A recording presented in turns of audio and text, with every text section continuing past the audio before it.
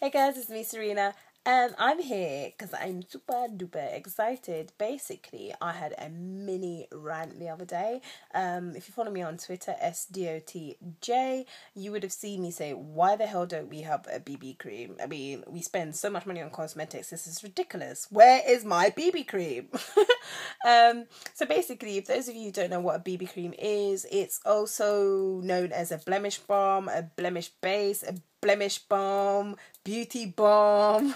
um, so basically, it was something that was kind of introduced and mainly sold in Asia, like East and Southern East um, Asia.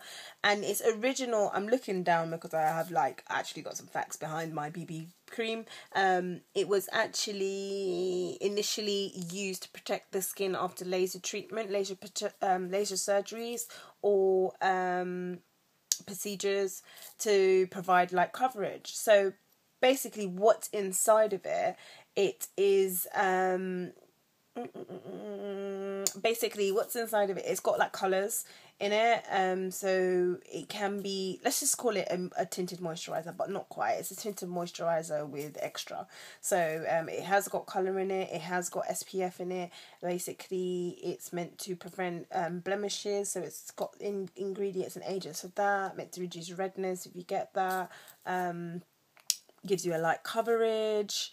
Um, SPFs are in some of them. So basically, every brand and its mother had picked up on this trend and they've kind of taken it over at the mo well where it first started in terms of um like I said was mainly introduced in like South Korea and um Japan in like the 80s. I mean we're we're late now having this BB cream on our market. So basically the main companies were Missha, Face Shop, Etude House, Skin Food I've got one, Skin 79 I've got one. Skin 79 is quite a, a popular one and then it started crossing over. So Garnier um Olay, Maybelline, uh, every you know Revlon, all of those big people started to make BB creams, but they never made them for black skin or, or in black skin tones. So they they would have five ranges, five colors, but they never the dark was never dark enough. Um, especially living in the UK, we don't tend to get things for like that in our skin tone. So basically, Sleek have introduced one into their range, which is really I'm so excited.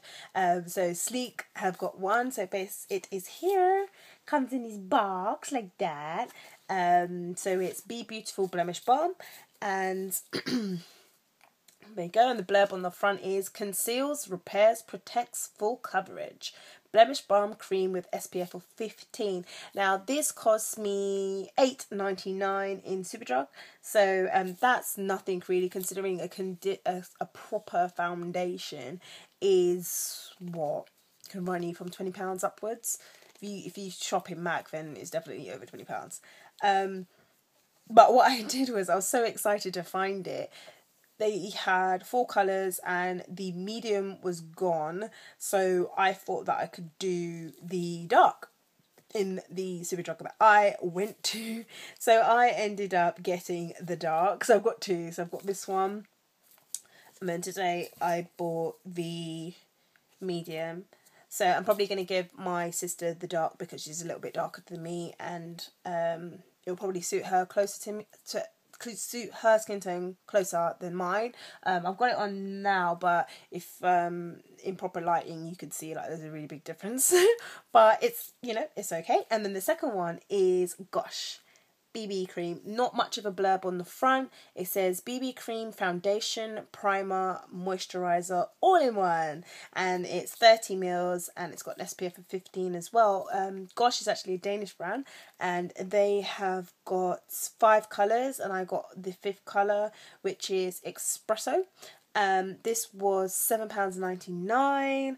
Um, currently got £2 off, so that's why I got it for £7.99. So its original price is £9.99.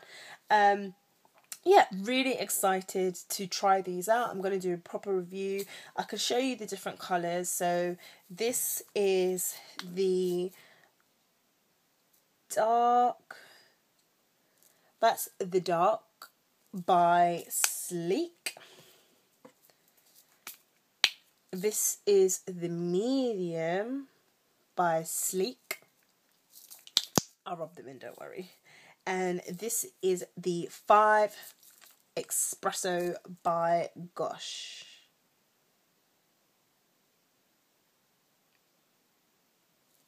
There you go. There's that one.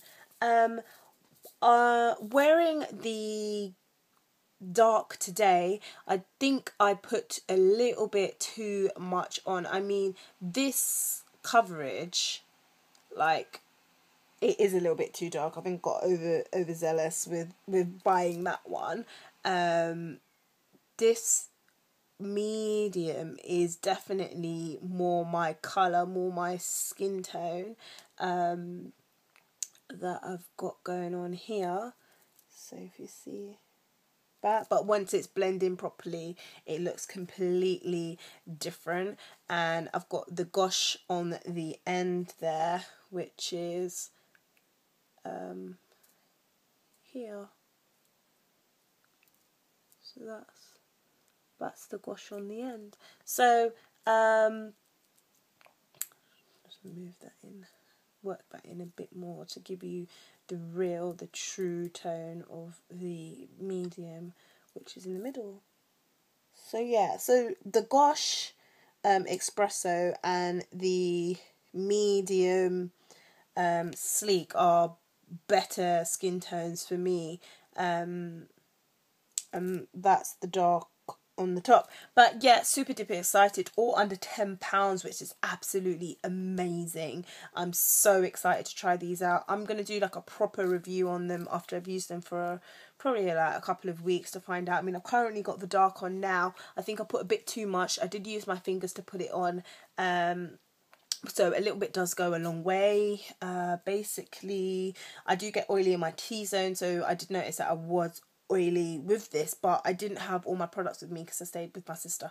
So um, last night, so yeah, really happy. Um, just letting everybody else know that they sell them. It's in Superdrug. Yeah. All right. Thanks for watching me. Bye.